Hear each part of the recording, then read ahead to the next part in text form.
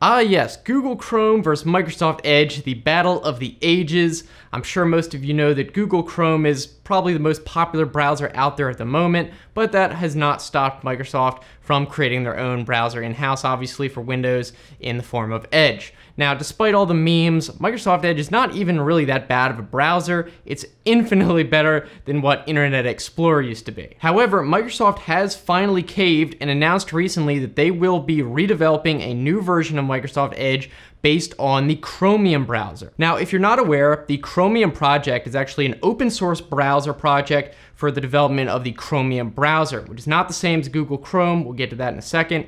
And the Chromium project was originally started by Google and is actually what Google Chrome is based off of. And because it's open source, what that means is that Google and any other community developers around the world can contribute to the Chromium project and therefore the Chromium browser to increase its functionality, bug fixes, all that sort of thing. So the Chromium browser is separate from Google Chrome. You could just go out and download the Chromium browser if you want and install it on Windows or whatever operating system you're using, not the one that's developed by Google. Now they are very, very similar obviously, but Google Chrome, because it's separately developed by Google, has some additional features on top of Chromium that are not available in Chromium. And obviously, if you haven't figured this out, Google Chrome gets its name from Chromium. So you can think of Chromium as like the base version of a browser, and then you can build on top of it. So because it's open source, any company can come along and build on top of it, make their own browser based on this open source software and kind of brand it, make it their own, add their own features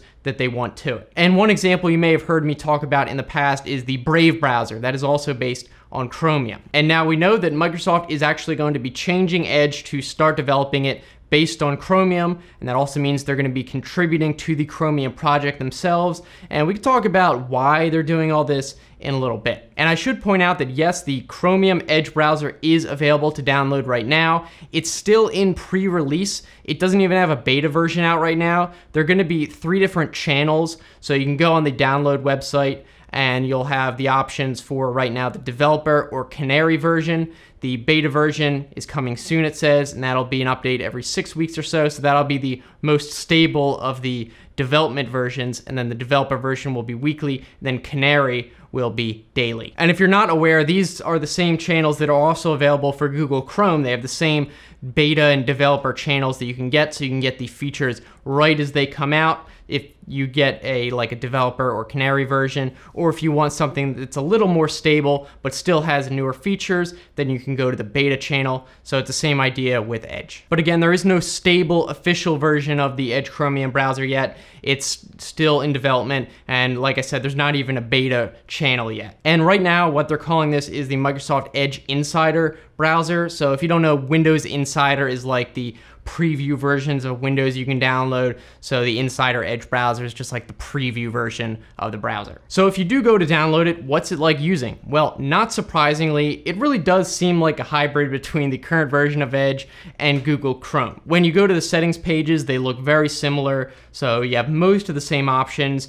One of the main differences you'll notice is that when you go to log into the browser, you log in with a Microsoft account instead of a Google account. So then you'll be able to store your bookmarks and stuff and sync it with the web that way. Also, interestingly, but not really surprising, is like Google Chrome, which has the flags menu, you now have the same set of flags options in the hidden menu, but it's called edge colon slash slash flags, so that's pretty neat. All in all though, I really expect this is probably gonna be very, very similar to Google Chrome, obviously, but it'll be interesting to see what kind of features that are exclusive that Microsoft adds on that might not be available in Chrome. Now you might be wondering, what's the point of this? If Microsoft already has their Edge browser, why would they go through the development of this new one based on Chromium? And their reasoning is that it will be better for compatibility in several different aspects. First of all, if they do make Edge based on Chromium, that will basically mean that pretty much everyone on the web, or at least a vast, vast majority, will be using a type of Chromium-based web browser. So that'll combine Google Chrome and then Edge and like even Brave browser. Most web browsers will be based on Chromium. So that will make it a lot easier for web developers to create websites that are compatible with most browsers because if they make it compatible with one Chrome browser, it'll be compatible with pretty much all of them then instead of having to try and make one for Chrome, one for Edge, and all that sort of thing. So after this is implemented, no matter what browser you're using, then every website should work correctly if it's going to work on any of them. Also, because Microsoft themselves are going to be starting to contribute to the Chromium project, that means that all Chromium-based web browsers will be better integrated with Windows and have better compatibility. And obviously not that Chromium browsers aren't compatible with Windows, but say for example, a big bug comes up or something on Windows, then because Microsoft developers are going to be a lot more familiar with Windows, obviously, because they work for Microsoft, they can probably fix things a lot easier than if it was just random developers around the world trying to make it compatible with Windows. Another interesting consequence of this is because Chromium is a lot more compatible with many different operating systems and platforms, that will then mean that Edge will likely be usable on things like Mac OS or Linux or even ARM platforms like on Raspberry Pi. So we'll probably be able to get Edge on whatever operating system you want if you do want that. Now, one of the biggest benefits that will become of this transition for users at least is all the extensions that will become available for use with Edge because it's based on Chromium. So you might know that Google Chrome obviously has like tens of thousands of extensions. You can pretty much get it to do whatever you want.